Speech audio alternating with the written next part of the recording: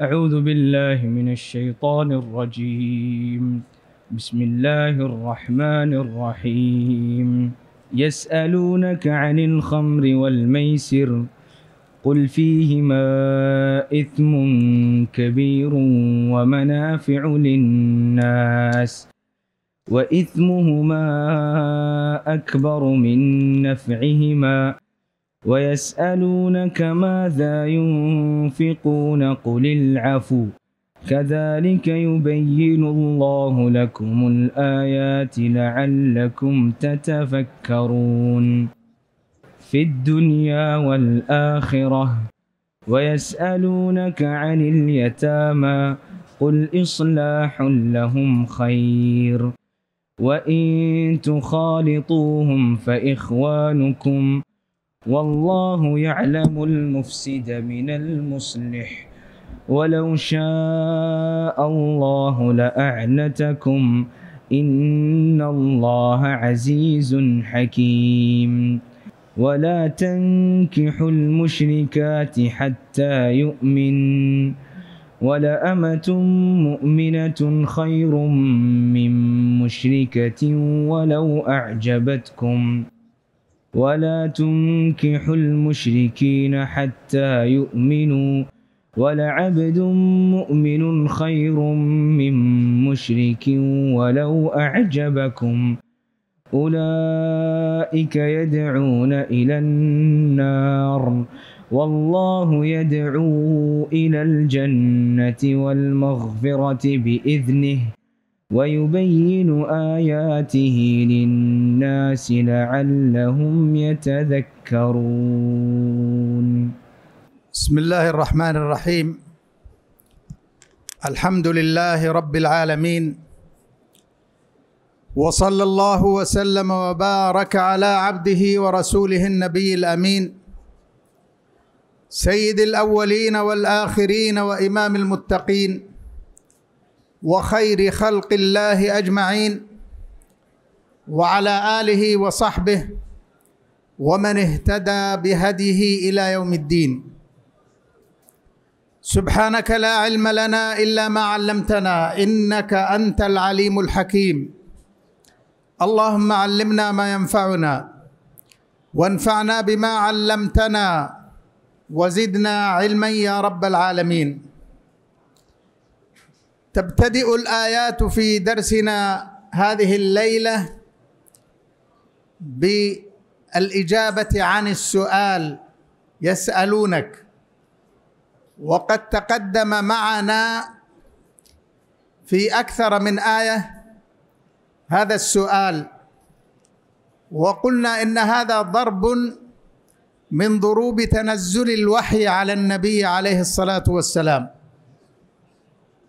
فإن الوحي الذي كان ينزل على النبي عليه الصلاة والسلام فيه ما يبين الأحكام الشرعية المبتدأة التي لم يسبق سؤال عنها ولم تعرف. وفيه ما يكون جوابا على سؤال كما تقدم وكما في درسنا في هذه الليلة. فإن هذه الإجابات التي ترد من الشارع جل وعلا نوع من أنواع الوحي وهي تفيد فائدة كبيرة في الإجابة على ما يتساءل عنه الناس. ثم بعد ذلك هذه الأسئلة تأتي تباعا بحسب حاجات الناس فإنها لم تنزل في وقت واحد. وهذا من حكمة الله تبارك وتعالى أنه ينزل هذا القرآن مفصلا مرتبا وينزله منجما يعني اقساما بحسب الحوادث والأحوال. فلذلك الناس كانوا ينتفعون بهذه الأجوبة الذين مع النبي عليه الصلاة والسلام. لأنها كانت تلامس حاجات نفوسهم التي يتساءلون عنها فيأتيهم الجواب. ومن هذه الأسئلة ما ورد في هذه الآية معنا السؤال عن الخمر والميسر. والخمر المقصود به شربه وتعاطيه وما يتعلق به وكذلك الميسر. والخمر هو الشراب المسكر. كل ما أدى إلى السكر مما يشرب وهو أنواع كثيرة كانت تعرف في ماضي الزمن واستجدت أنواع أخرى في زمننا هذا. كل ما أدى إلى الإسكار وهو غياب العقل واضطرابه فهذا أمر محرم داخل في النهي الشرعي. ولكن الخمر له قصة في تحريمه. الخمر وشربه كان عادة متأصلة في نفوس الناس خاصة في جزيرة العرب فإنه لم يكن يصنع في غالب الأحوال عندهم وإنما كانوا يستوردون من الشام ومن غيره. وكانوا يعتبرون هذا من أنفس الأشياء يتباهون بشربه ويقدمونه لأضيافهم ويشربونه هم فيما بينهم. فهو عادة متأصلة في نفوسهم يصعب اقتلاعها مع أن الواقع الذي يعيشه الناس يدل على قبح هذه العادة وشناعتها ولكن الناس لتعاطيهم لها وشيوعها بينهم ما كانوا يفكرون في هذا الأمر. لأن المثل يقول كثرة المساس تذهب الإحساس شيء مألوف بينهم. فلذلك الشريعة بينت منهجا حكيما في اقتلاع هذه العادة الذميمة. اقتلاعها من النفوس ولا شك في قبحها وشناعتها. لكن الشريعة ما جاءت لتجعل الناس يرتدون عن دينهم إنما جاءت لتقوي إيمانهم ولتثبتهم. ولهذا جاء عن أم المؤمنين عائشة رضي الله تعالى عنها أنها كانت تقول أول ما نزل من القرآن آيات فيها ذكر النار الجنة والنار. حتى إذا ثاب الناس إلى الإسلام نزل الحلال والحرام. ولو نزل أول ما نزل لا تشربوا الخمر قالوا لا ندعها. ولو نزل أول ما نزل لا تدعوا الزنا قالوا لا ندع الزنا. لكن الشريعة الحكيمة التي أنزلها رب العالمين الذي يعلم ما يصلح أحوال خلقه بينت لنا المنهج الحكيم في اقتلاع هذه العادة السيئة. يسألونك عن الخمر والميسر.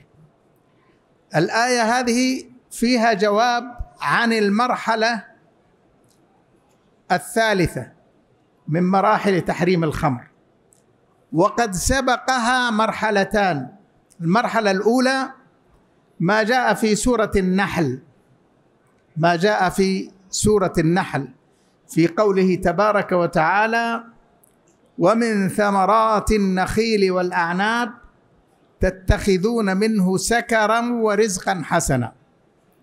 فقابل الله سبحانه وتعالى هنا بين أمرين بين السكر والرزق الحلال الرزق الحسن. وهذا فيه ما يدعو العقلاء إلى التأمل والتفكر. إذا كان السكر ليس من الرزق الحلال لأنه لو كان من الرزق الحلال دخل معه لكن الله سبحانه وتعالى أضافه إليه. قال سكرا ورزقا حسنا. والعادة أن العطف يكون بين شيئين مختلفين. فلذلك لما نزل هذا أصبح أصحاب العقول الحكيمة والحلوم أصبحوا يتفكرون. لماذا كان السكر ليس من الرزق الحلال؟ فيه تعريض هذا. تعريض ما فيه تحريم لكن فيه تعريضا لأنه بين أن السكر ليس من الرزق الحلال. وليس من الرزق الحسن. ثم بعد ذلك جاء قوله تبارك وتعالى لأن الصحابة أيضا بدأوا يتحرجون. ثم بعد ذلك جاء قوله تبارك وتعالى في هذه الآية يسألونك هذه تمثل المرحلة الثانية. يسألونك عن الخمر والميسر قل فيهما إثم كبير. ومنافع للناس. في الخمر هذه إثم عظيم وفيها منافع للناس. وهذا يعني أن المفسدة التي فيها أكبر من المصلحة. ما هي هذه المفسدة؟ المفسدة التي في الخمر هي إذهاب العقل. إذهاب العقل الذي ميز الله به الإنسان على سائر المخلوقات.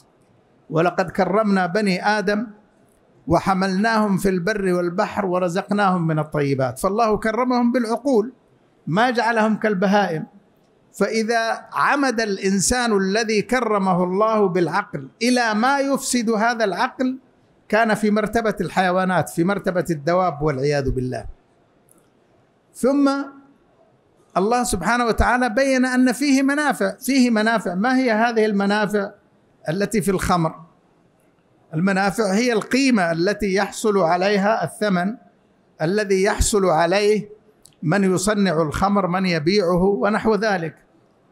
وربما من المنافع ما يجده شارب الخمر من اللذة والغياب عن الواقع. هذه منفعة عند بعض الناس لكن الإثم الذي في الخمر أكبر من ذلك. ما هو الإثم غير ذهاب العقل. إثم عظيم لأنه يدعو إلى الفواحش ويسهل ارتكابها. وقد جاء فيما ثبت في الحديث عن النبي عليه الصلاة والسلام أن رجلا ممن كان قبلنا من العباد عدا عليه بعض الظلمة وأجبروه على أن يفعل واحدا من أمور ثلاثة. كان معه في ذلك أمامه امرأة وطفل صغير وكأس من خمر. فأجبروه على أن يفعل واحدا من هذه الثلاثة إما أن يزني بالمرأة وإما أن يشرب الخمر وإما أن يقتل الطفل. فنظر في الأمور فوجد أن الزنا من الأمور الكبيرة. التفت إلى المسألة الثانية وهي قتل الصغير فوجد أن هذا أيضا لا يجوز. ما ذنبه أن يقتله؟ فنظر إلى كأس الخمر هذه وقال هذه أيسر الأشياء. يشرب الخمر. فشرب الكأس. ولما شرب الخمر لعبت برأسه. فقام فعدى على الصبي وقتله وزنى بالمرأة. ولهذا يقول النبي عليه السلام اجتنبوا الخمر فإنها أم الخبائث. أم الخبائث. يعني تجمع كل السيئات وكل الفواحش. ولهذا جاء أيضا في الحديث اجتنبوا الخمر. لعن الله في الخمر. في الحديث عشرة. عشرة. كلهم ملعونون بسبب صلتهم بالخمر بائعها وشاريها وعاصرها ومعتصرها يعني الذي يطلب صناعتها ها؟ وحاملها والمحمولة إليه وآكل ثمنها. كل من؟ إلى آخر الحديث. كل هؤلاء ملعونون بسبب الخمر بسبب الخمر. ولذلك لا يجوز بحال من الأحوال أن يتعاطى الإنسان المسلم هذه الصنعة الخبيثة. لا بيعا ولا شراء ولا صناعة ولا شربا ولا تقديما. حتى التقديم لا يجوز له أن يقدمه. هذه كلها في الخمر. فالله سبحانه وتعالى في هذه الآية قال فيهما إثم كبير ومنافع للناس.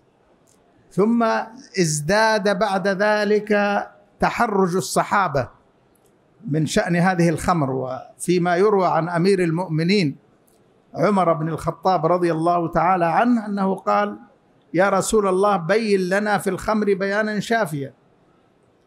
ثم بعد ذلك جاء قوله تبارك وتعالى يا أيها الذين آمنوا لا تقربوا الصلاة وأنتم سكارى حتى تعلموا ما تقولون. لأنهم كانوا يسكرون. ما نزل التحريم بعد. لكنهم كانوا يقومون. كان بعضهم يقوم يصلي ولا يزال أثر الخمر في بدنه في عقله. فقام أحدهم يصلي وقرأ تقدم للصلاة بجماعة. فقرأ سورة الكافرون وقرأها على هذا النحو. قل يا أيها الكافرون أعبد ما تعبدون. هذا جرم لأن الآية فيها نفي. لا أعبد ما تعبدون. هو قرأها أعبد ما تعبدون بسبب تأثير الخمر عليه.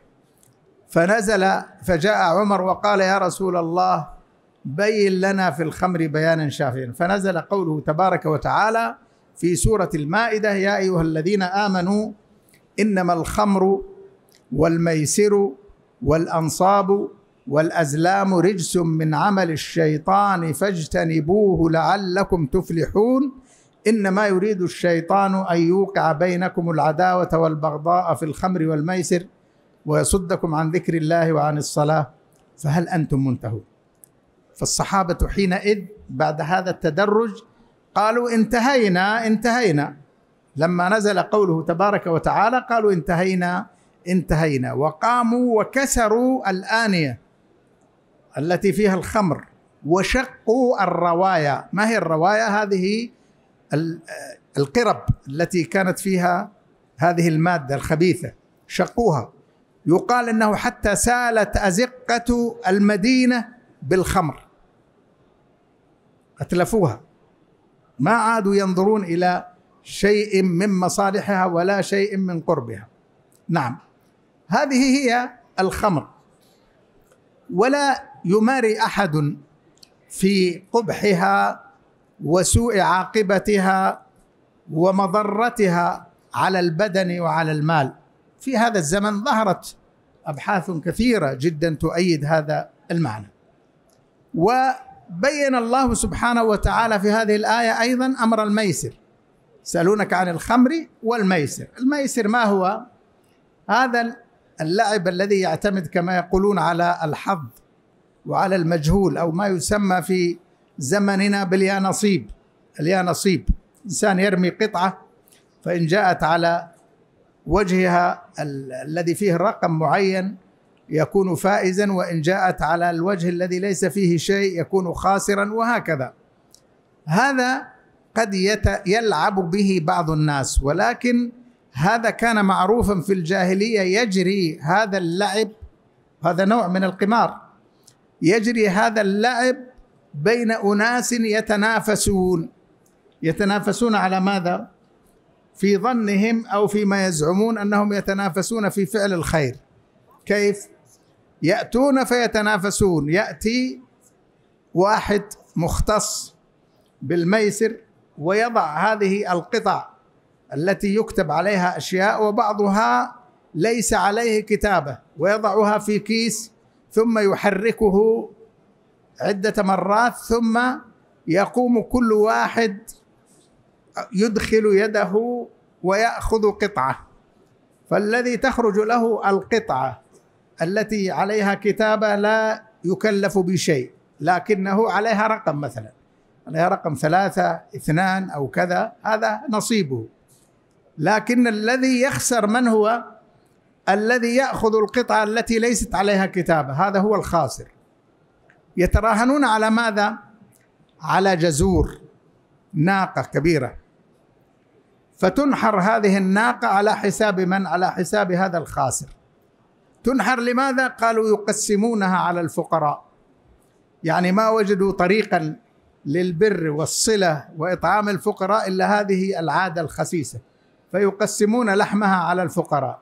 هذا قد يكون فيه منفعة أن الفقير يطعم من هذا اللحم لكن هذه الطريقة فيها غش فيها ظلم فيها أيضا إثارة للعداوة إنما يريد الشيطان أن يوقع بينكم العداوة والبغضاء في الخمر والميسر لأن الخاسر هذا ينظر إلى هؤلاء الذين معه على أنهم هم الذين قادوه إلى هذه الخسارة.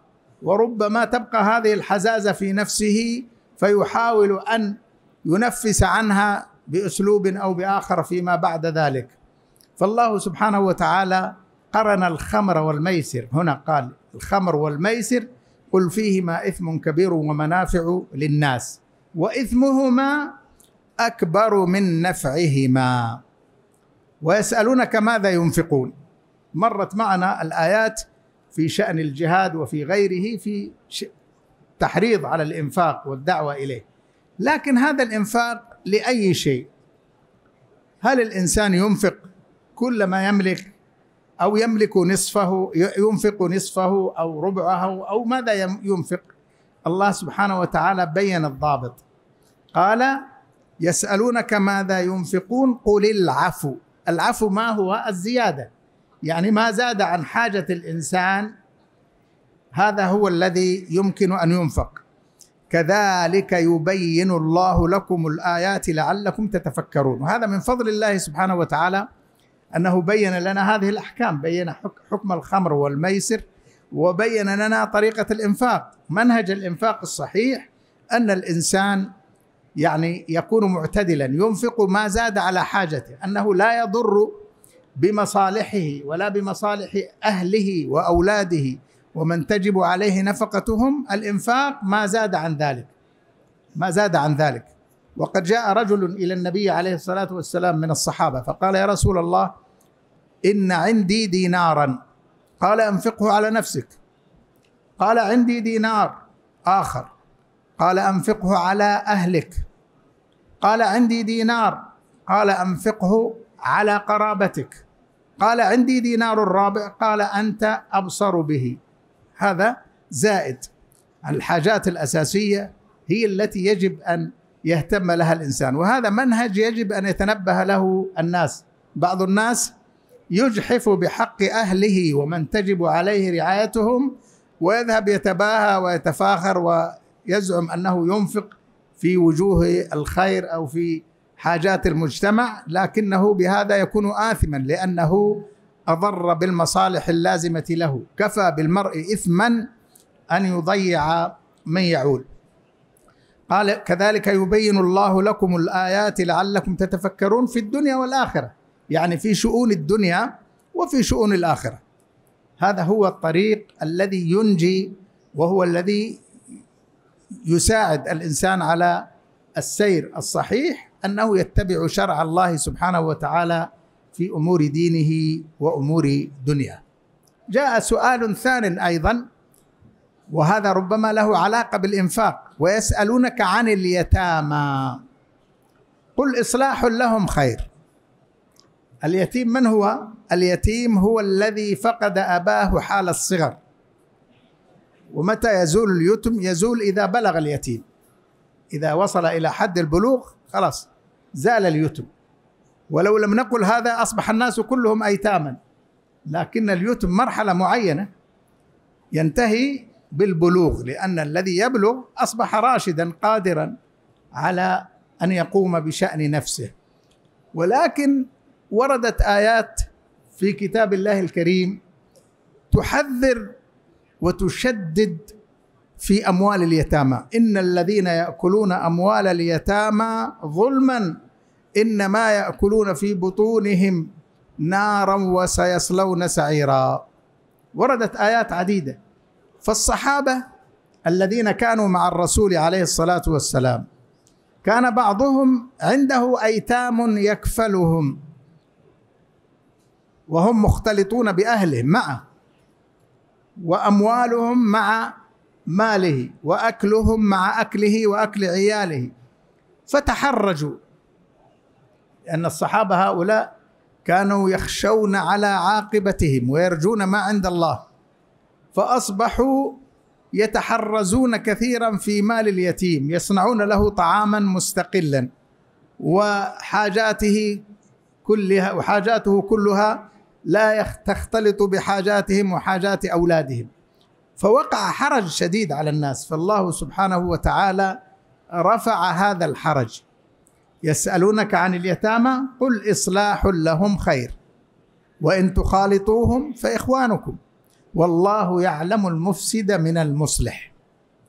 رفع الله الحرج عنهم. لا بأس أنك تخالط اليتيم وتجعله طعامه مع طعامك وسكنه مع سكنك وتجعله كأحد أسرتك. هذا لا بأس به. هذا هو المطلوب. وهذا هو الذي ينتفع به اليتيم. لأنه لا يشعر بالبؤس ولا يشعر بفقد الأب حينئذ.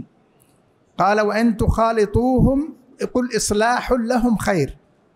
المطلوب أنك تبتغي بكفالة اليتيم ورعاية ماله ما فيه الخير والصلاح له.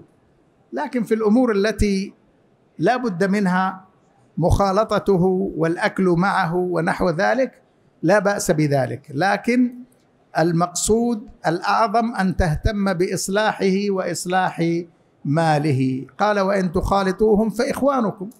والله يعلم المفسد من المصلح. الله سبحانه وتعالى مطلع الرقيب على أفعال العباد. يعلم أن هذا الذي كفل اليتيم وخالطه في ماله وفي معيشته يريد الإصلاح وجبر خاطر اليتيم وإعانته أو يريد أكل ماله. هذا كله لا يعلمه إلا الله سبحانه وتعالى. والله يعلم المفسد من المصلح. المفسد الذي يريد أن يأكل مال اليتيم وأن يظلمه والمصلح الذي يريد الخير له. ولو شاء الله لأعنتكم. إن الله عزيز حكيم. من رحمة الله تبارك وتعالى بالعباد أنه أزال الحرج عنهم في مخالطة اليتامى. أن يأكلوا معهم ويخالطوهم في مساكنهم في مآكلهم. من غير جور عليهم ولا إجحاف بهم لو لم يكن ذلك لوقع العنت والحرج والمشقة على من يكفل اليتيم. ولو شاء الله لأعنتكم لكن الله رحمنا فأجاز لكافل اليتيم أن يخالطه. إن الله عزيز حكيم. الله عزيز هذا فيه ما يشعر الإنسان بقوة الله وقدرته وقهره. أنك إذا ظلمت اليتيم فإن الله سبحانه وتعالى لن يفلتك من العقاب. وحكيم في شرعه. الله سبحانه وتعالى عندما شرع كفالة اليتيم وحض عليها كما بين ذلك النبي عليه الصلاة والسلام أنا وكافل اليتيم في الجنة كهاتين وأشار بأصبعيه السبابة والوسطى. هذا يدل على عظم شأن كفالة اليتيم. فالله سبحانه وتعالى من رحمته بين ذلك. حكمته اقتضت ذلك. ثم بعد ذلك جاءت آية تتعلق بنوع معين من أنواع الأنكحة. ما جاءت تتحدث عن النكاح بصفة عامة. جاءت تتحدث عن نكاح المشركات. ولا تنكح المشركات حتى يؤمن الإنسان قد تميل نفسه للزواج بامرأة معينة لغرض من الأغراض التي بينها النبي عليه الصلاة والسلام كما في الحديث الصحيح تنكح المرأة لمالها ولحسبها ولجمالها ولدينها. أغراض أربعة. أغراض أربعة.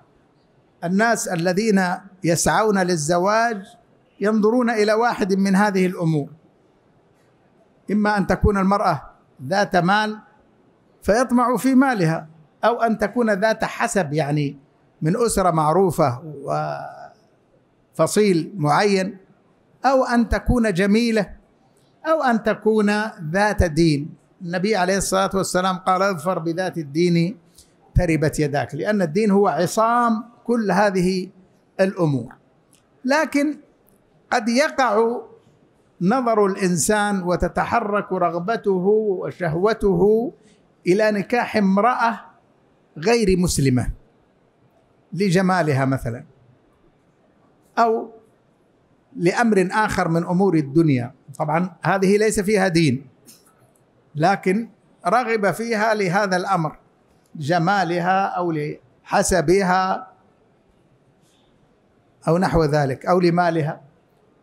فبعض الناس قد تميل نفسه إلى ذلك. فالله سبحانه وتعالى بين للمؤمنين المنهج الصحيح الذي يجب أن يسيروا عليه. في مسألة النكاح لا يجوز للمرء المسلم أن يعقد على امرأة مشركة. كل الكفار هؤلاء مشركون كفار ومشركون حتى اليهود والنصارى. لماذا اليهود والنصارى؟ لأن الله سبحانه وتعالى قال عن اليهود قالت اليهود عزير بن الله جعلوا معه ابنا. وقالت النصارى المسيح ابن الله جعلوا لله ابنا. فأشركوا معه غيره.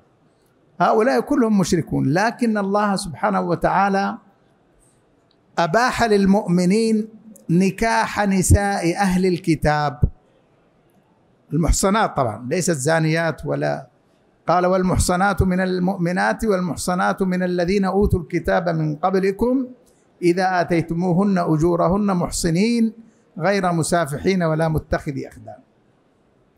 فأباح نكاح نساء أهل الكتاب لتقريبهم إلى الحق حتى لا يشعروا بأن الدين الذي جاء به محمد عليه الصلاة والسلام وسار عليه أتباعه أن هذا دين لا عهد لهم به. هم يعرفون الحق من كتبهم التي أنزلها الله تبارك وتعالى عليهم. فمن باب تأليف قلوبهم أباح الله للمسلمين نكاح نسائهم وأكل ذبائحهم التي يذبحونها. وأما بقية الكفار فلا تؤكل ذبائحهم ولا تنكح نساؤهم. الله سبحانه وتعالى هنا بين مقارنة بين المرأة المشركة هذه الجميلة أو صاحبة المال والحسب وبين الأمة المسلمة الأمة الرقيق. قد تكون غير جميلة قد تكون سوداء قد تكون شوهاء لكنها مسلمة. إيمانها في قلبها. الله سبحانه وتعالى قال ولأمة مؤمنة خير من مشركة أحسن وأفضل من هذه المشركة التي أعجبتكم. ولو أعجبتكم. حتى لو أعجبتكم هذه المشركة المؤمنة هذه الأمة وهذا من باب يعني ضرب الأقل للدلالة على يعني جواز الأكثر. يعني إذا كانت الأمة المؤمنة أفضل من المشركة فمن باب أولى المؤمنة التي ليست أمة الحرة. ها؟ ولا أمة مؤمنة هذا يقولون الدلالة بالأدنى على الأعلى. ولأمة مؤمنة خير من مشركة ولو أعجبتكم. طيب هذا بالنسبة لمن يريد الزواج. لكن من يريد التزويج من عنده مولية ابنته أخته قريبته يريد أن يزوجها. ها؟ هو الذي يزوج الولي. قال ولا تنكحوا المشركين حتى يؤمنوا. جاءك خاطب مشرك. مشرك. جميع أنواع المشركين كلهم حتى اليهود والنصارى. ولا تنكحوا المشركين يعني لا تزوجوهم. ولا تنكحوا المشركين حتى يؤمنوا. هذه غاية. إذا آمنوا إذا آمنوا حينئذ يجوز تزويجهم من النساء المسلمات. ولا عبد مؤمن يعني لا أن تزوجوا عبدا مؤمنا خير من مشرك حتى ولو كان هذا المشرك عنده المال وعنده المنصب والحس والجمال والحسب ولا عبد مؤمن خير من مشرك ولو أعجبكم. ما هو التعليل؟ لماذا؟ ما هي العلة؟ لماذا يا ربنا نهيتنا عن هذا؟ عن أن نتزوج المشركات أو أن نزوج المشركين؟ قال أولئك يدعون إلى النار. أولئك هؤلاء كفار مشركون يدعون إلى النار. طريقتهم لا يدعون إلى الله ولا إلى توحيده ولا إلى طاعته ولا إلى عبادته. سبيلهم هذا طاعة للشيطان وسبيلهم هذا تحريف لدين الله وسبيلهم هذا اتباع لشهوات أنفسهم. أولئك يدعون إلى النار. والله يدعو إلى الجنة والمغفرة بإذنه.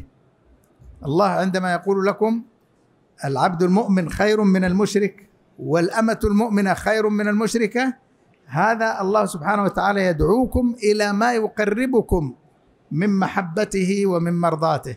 والله يدعو إلى الجنة والمغفرة بإذنه. ويبين آياته للناس لعلهم يتذكرون. هذا البيان من الله سبحانه وتعالى للناس حتى لا يضلوا.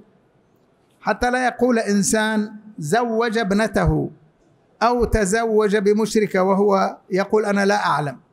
الله سبحانه وتعالى بين لنا هذا بين لنا هذا وفصله في كتابه الكريم حتى لا نضل عن طريق الهدى. في زمننا هذا هنالك دعوات كثيرة تثار حول مسألة زواج المسلمة من غير المسلم.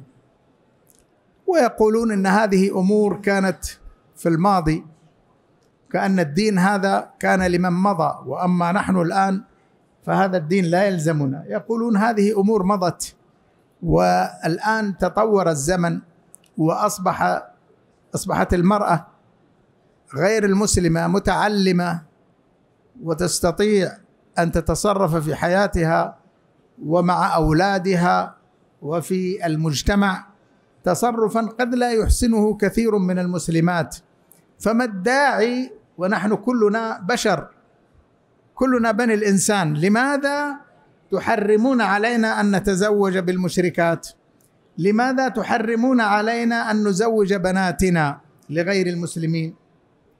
كلام يقولونه ويدور كثيرا ويتبجح به من يتبجح عبر وسائل الإعلام وفوق المنابر ويشككون في آيات الله وفي أحكام الدين ويطعنون في العلماء الذين يبينون هذه الأحكام. كن هؤلاء شوهوا الدين هؤلاء ليس عندهم دليل الدين كله رحمة والدين كله عدالة والدين كله مساواة بين البشر لا فضل ويستدلون.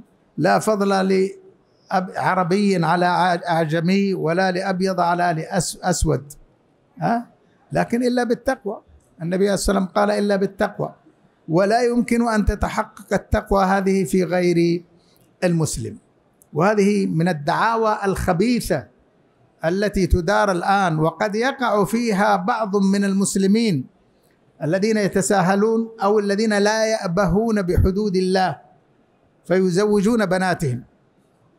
بعض الناس قد تتمرد عليه بنته أو أخته وتتزوج بغير المسلم لكن هو لا يرضى. المهم أنه هو لا يقبل ولا يسعى ولا يرضى وأن يعمل ما في وسعه لمنع مثل هذا الأمر.